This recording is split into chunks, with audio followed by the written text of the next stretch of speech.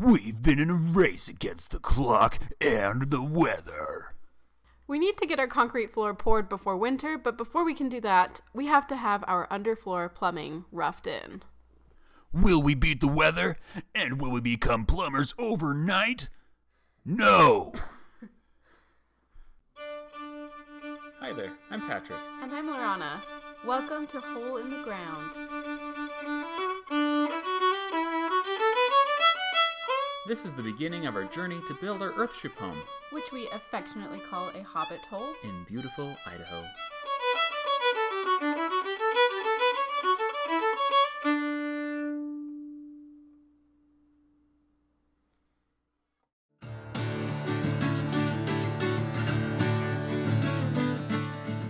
There are some peculiar things about the plumbing system for this home, so let's review. First of all, our potable water source will be from rainwater collection, which will be stored in a cistern behind the house and run through the earth bank to the Water Organization Module, which earthshippers call the WOM. Here, water will be filtered, pressurized, and heated, depending on where it is headed in the house. Next, water will run from the WOM to the kitchen sink, the dishwasher, the washing machine, and the bathroom sinks and showers in our two bathrooms. Okay, now here is where it gets complicated. Used water from the kitchen sink and the dishwasher will run straight out to septic. We just immediately classify it as black water. However, water from the bathroom sinks and showers and from the washing machine has the option of being run to the planter at the front of the house as gray water. Pipes from these three items run up to these two valves at the front of the house, which we can switch to have the gray water run to the planter or just run straight out to black water. Then, after the gray water runs through the planter, it will be pumped back up to the toilets in the two bathrooms, where it will be used one final time to flush the toilets before being run out to septic.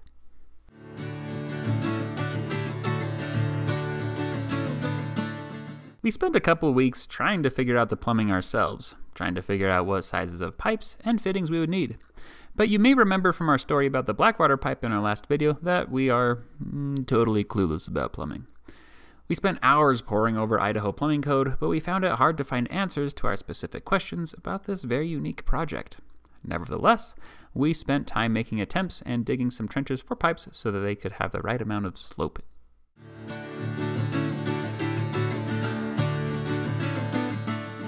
Remember those PVC sleeves we put underneath the concrete footings like way at the beginning of the summer? Well, first of all, our plumber said that Patrick measured the slope of them perfectly. So, they worked great for getting the potable water lines under the footing. But when it came to the gray water, we had a problem. First of all, not all the lines we needed to run would fit through our 6 inch sleeve. Worse than that, though, the elevation of the sleeve was low enough that the feed pipe for the planter would have been at the very bottom of the planter, and that clearly wasn't going to work. We stressed about this for weeks, but thankfully our plumber helped us figure out a solution, which was to notch out the top of our footing and run our gray water pipes over that, which allowed it to run into the planter at a higher elevation. We'll still need a pump to get the used gray water back over to the bathrooms where it can be used to flush the toilets.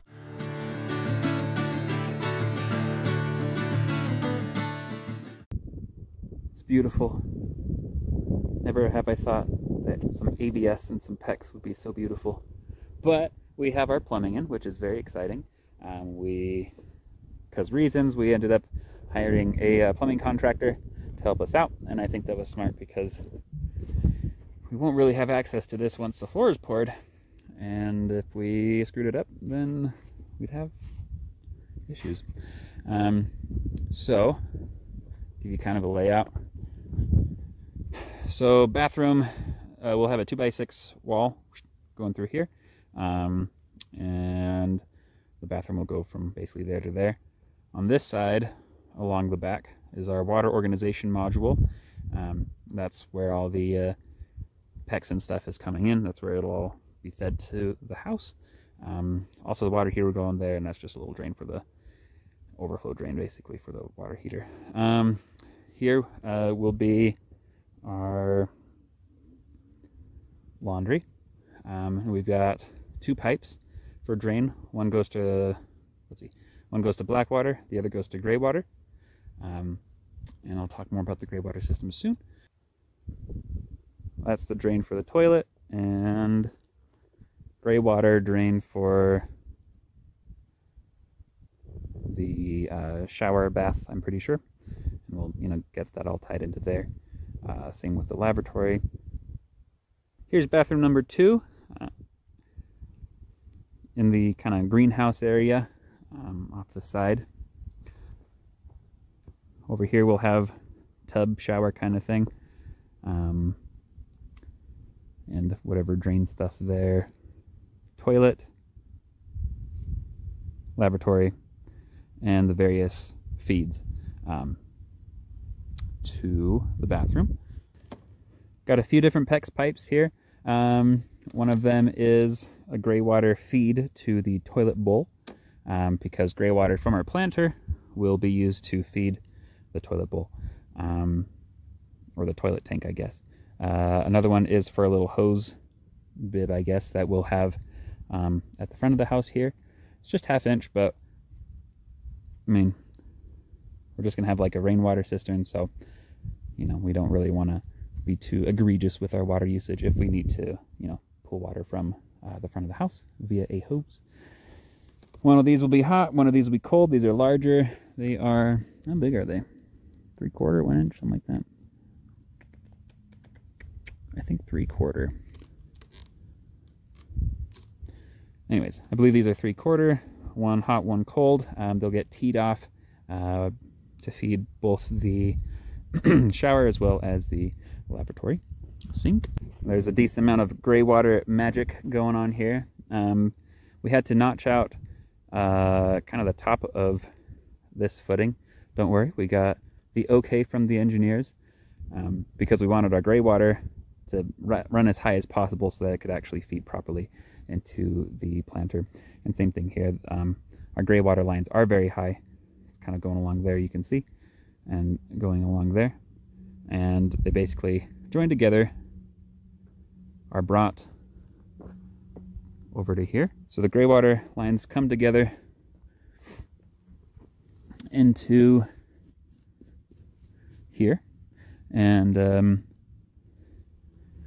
here are so and at this point we've got two valves uh, one drains back to this side um, if we close off one side and open up the other this will just drain back into black water and uh, exit the house.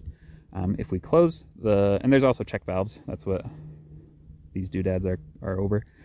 Um, if we close black water open up gray water then water from the fixtures and stuff that are being drained into gray water will come over here, pour out of here into our planter, which we haven't built yet, but we will. Um, basically going to be a mini footing uh, from here, kind of like this, uh, inverted T-shaped, just over here. Um, and it'll be a two foot wide uh, planter, about two foot deep, and going between 50 and 60 feet down that way. Um, and we got the okay from the county to kind of do this little modification to put that extra footing in, which is exciting. Um, and yeah, so to be able to, you know, retain access to these valves and stuff, um, our planter is going to start basically right here, but we'll just have essentially a box cut out um, that you know we can cover up and stuff like that, but where we won't pour our floor into. Um, so that we can you know open it up, access these valves, and make adjustments. So we've got a whole bunch of poly lines coming along here into the kitchen area. Kitchen, there's no gray water or anything happening, so that was pretty straightforward. Um, this is where the kitchen sink will be, just draining, going under here. Under the sleeve that I buried uh, before all the concrete work happened.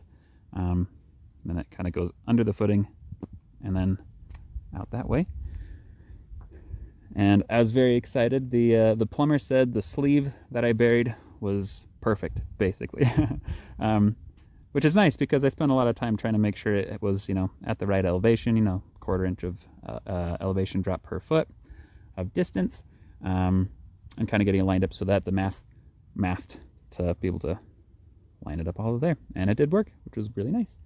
Um, here we've got, I believe it is soft hot, soft cold, and hard cold is what these three are for. Um, code requires that we have a, a uh, uh, lines for soft water, Um, so that is what that is for. Over here, uh, this is where our fridge is going to go, and this is um, water feeding, soft water feeding uh, the fridge for ice and for water and stuff like that. But yeah, very, very exciting.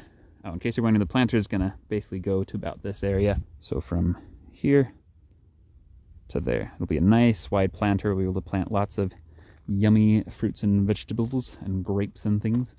Um, but anyways, that is our plumbing update. Super exciting. Um, yeah, the plumbers basically got it all bashed out in a day. Uh, I took the day off to help them out, which was fun. And I learned a lot, and um, it just uh, cemented the wisdom, I guess, in hiring a plumbing contractor that actually knows what they're doing versus us, you know, screwing it up ourselves. So, yeah.